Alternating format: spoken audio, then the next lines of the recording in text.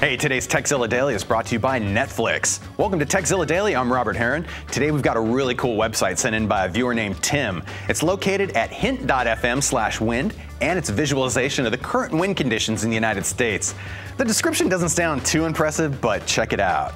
So right here, you can see a map of the United States, and all of these moving lines are actually representations of the wind speed right now.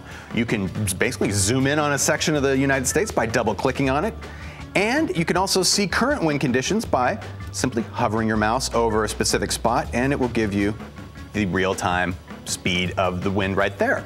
On the sidebar, of course, you can also see the top and average speeds in the United States. All of the data comes from the digital forecast database, so it's pretty up to date.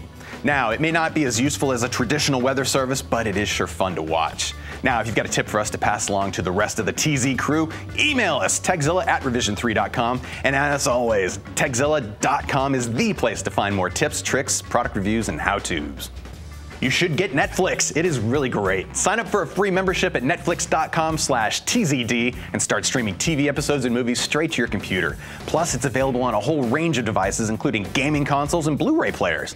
Help out the TZ Dailies people by signing up. And if you're in the UK or Ireland, go to netflix.co.uk slash TZD or netflix.ie slash TZD. Do check it out.